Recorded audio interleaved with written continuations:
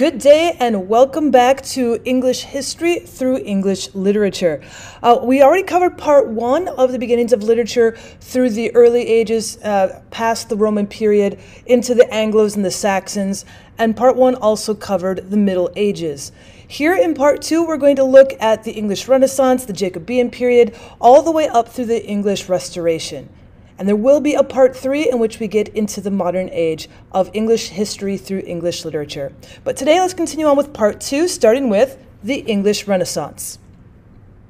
Renaissance style and ideas were slow to penetrate England and the Elizabethan era, and you can see the time periods from about 1558 to 1603, and that's usually regarded as the height of the English Renaissance. However, many scholars see its beginnings early in the 1500s instead of in the Elizabethan period, before her in the reign of Henry VIII, her father.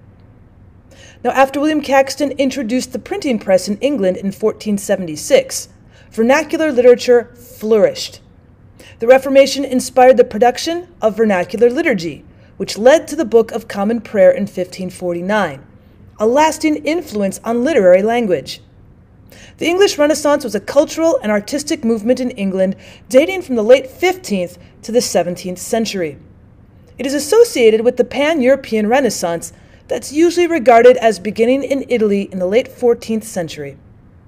Now, like most of Northern Europe, England saw little of these developments until more than a century later. Now, moving into the Elizabethan period of the English Renaissance, let's start looking at the people who made it the Elizabethan period. Edmund Spenser was one of the most important poets of the Elizabethan period, author of The Faerie Queene, which he wrote in 1590 and in 1596. And this was an epic poem and fantastical allegory celebrating the Tudor dynasty and Elizabeth I. Another major figure, Sir Philip Sidney, was an English poet whose works included Astrophel and Stella, The Defense of Poetry, and The Countess of Pembroke's Arcadia. Now, among the earliest Elizabethan plays are Gorboduc by Sackville and Norton and Thomas Kyd's The Spanish Tragedy in 1592. Gorboduc is notable especially as the first verse drama in English to employ a blank verse, and for the way it developed elements from the earlier morality plays and a Senecan tragedy, in the direction in which would be followed by later playwrights.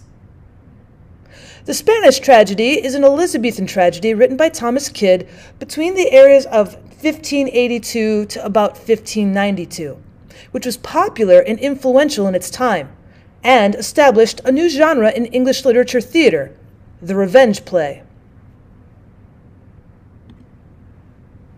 Of course, we would be remiss if we didn't cover William Shakespeare. You can see his birth and death dates there. Shakespeare stands out in this period as a poet and a playwright as yet unsurpassed.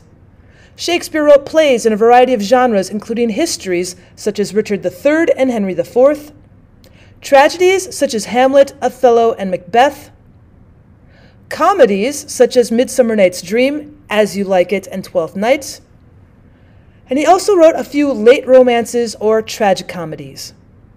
Now, Shakespeare's career will continue into the very early Jacobean period, as you can tell by his death date in 1616.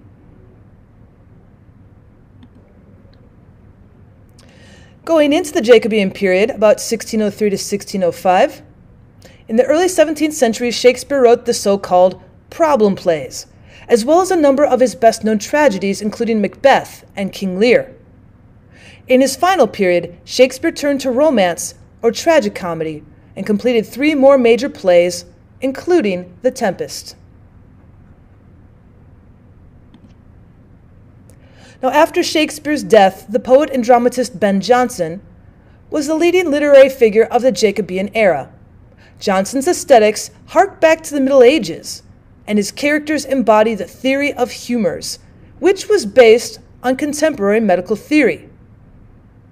Jonson's comedies include Volpone around 1605 or 1606 and Bartholomew Fair in 1614. Others who followed Jonson's style include Beaumont and Fletcher, who wrote the popular comedy The Knight of the Burning Pestle, probably around 1607, which is a satire of the rising middle class.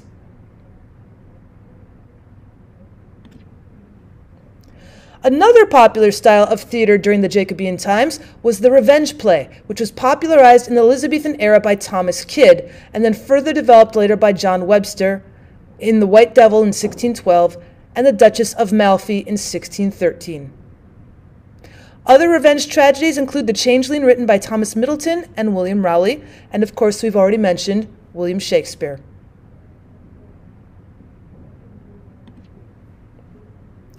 George Chapman, who was around 1559 to 1634, is going to be remembered chiefly for his famous translation in 1616 of Homer's Iliad and Odyssey into English verse. This was the first ever complete translations of either poem into the English language.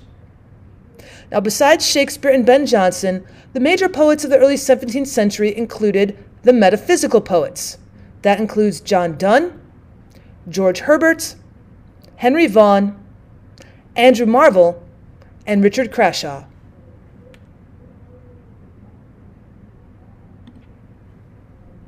Now, the most important prose work, arguably, of the early 17th century was the King James Bible. This was one of the most massive translation projects in the history of English up until this time. It was started in 1604 and completed in 1611. This represents the culmination of a tradition of Bible translation into English that began with the work of William Tyndale and became the standard Bible of the Church of England.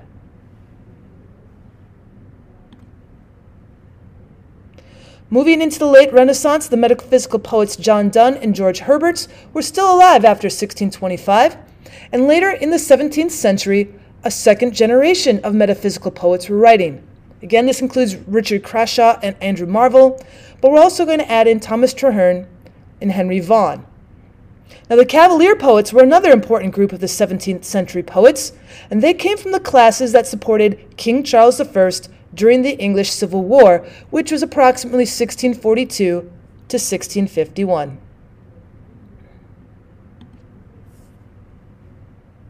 Now, Cavalier works make use of allegory and classical allusions and they are influenced by Roman authors Horace, Cicero, and Ovid.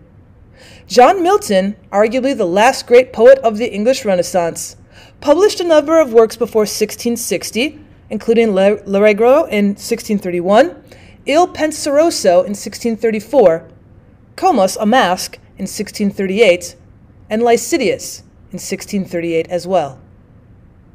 However, his major epic works, including Paradise Lost in 1667, was published in the Restoration period.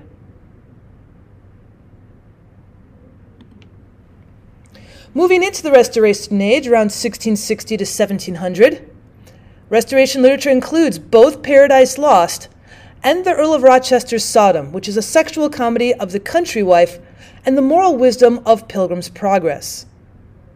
This age also saw Locke's two treatises on government, The Founding of the Royal Society the experiments and the holy meditations of Robert Boyle, the hysterical attacks on theaters from Jeremy Collier, and the pioneering literary criticism from Dryden and the first major newspapers. So, a lot was happening during these 40 years when it comes to literature.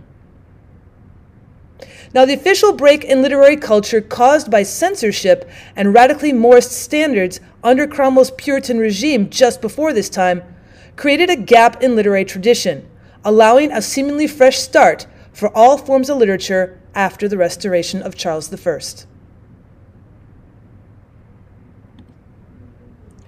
John Milton, one of the greatest English poets, wrote at this time of religious flux and political upheaval. Now, Milton is best known for his epic poem Paradise Lost. Milton's poetry and prose also reflect deep personal convictions, a passion for freedom and self determination, and the urgent issues and political turbulence of his day.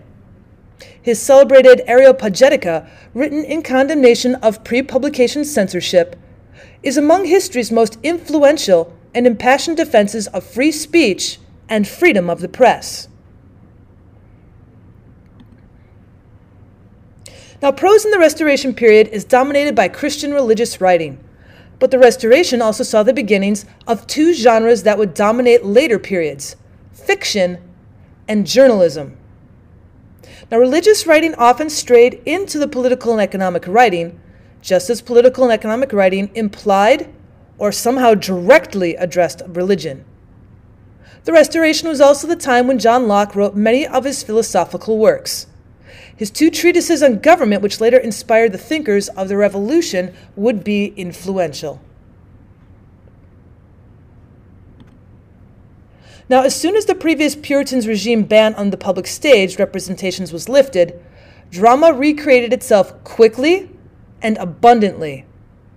The most famous plays of this early Restoration period are the unsentimental or the hard comedies of John Dryden, William Wycherley, and George Etherege, which reflect the atmosphere at court and celebrate an aristocratic macho lifestyle of unremitting sexual intrigue and conquest. Well, once again, we are finishing up part two of English literature throughout English history. Again, part one covers uh, right after the Roman period with the Anglos and the Saxons and the Middle Ages. This one covers the Renaissance up through the Restoration. And if you look out for part three on my channel, you're going to see moving in through the 1700s into the Romantic periods of the 1800s, all the way through the Victorians and into the modern age. So if you're looking for more information, please leave a comment down below. I can direct you in the right area, or check out my part one and part three on the Learning Language Arts channel. Thanks for stopping by. Take care.